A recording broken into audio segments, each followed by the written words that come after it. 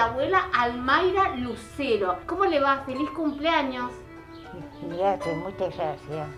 ¿Sabe que cumple 100 años? Sí, como no, si los tengo contaditos. ¿Los tiene contadito? ¿Qué hacían sus años mozos, abuela? Los quehaceres en la casa. Me jubilé y después los quehaceres en la casa. ¿Trabajaba en el frigorífico La Morocha? Sí. ¿Y qué trabajos hacía en el frigorífico La Morocha? Y envasar la mercadería para la exportación. Yo me jubilé ahí del frigorífico. Bueno, abuela, ¿qué es lo mejor que le ha pasado en estos 100 años? Y toda la vida. Me ¿Sí? pasan cosas buenas en el trabajo, que me querían todos los chicos que trabajaban ahí.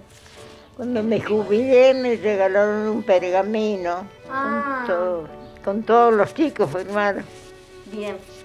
Abuela, ¿y cuál es el consejo que nos puede dar a nosotros los que queremos llegar a los 100 años como usted? Y no sé, esas son cosas de Dios. Me cuidé mucho en la comida, esas comidas muy fuertes nunca las comí. Siempre comida simple. Ajá. Como por ejemplo, que a ver qué podríamos comer hoy Guisos así, bife, asado. Asado. Ay, cómo me gusta el asado. Hace mucho que no como asado. Sopa, ¿Qué- Asado, Sopa. asado con puré. Asado con puré, qué rico. ¿Y quiénes lo acompañan hoy? ¿Quién me acompaña? Sí. Y mi hija, ¿no? ¿Cuántos hijos tiene? Yo, y el otro está en Buenos Aires. ¿Y cuántos nietos? ¿Cuántos nietos? Dos. Dos Dos. nietos, dos hijos, dos nietos. ¿Y bisnietos cuántos? Cuatro.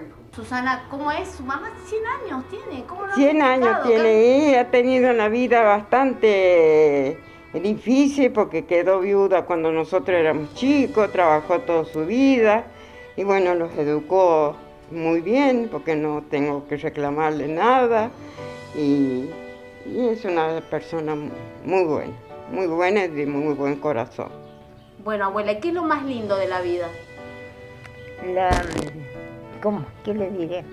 Esta vida que me ha dado tan buena, que no me han pasado cosas feas, siempre me ha ayudado Dios. Qué hermoso.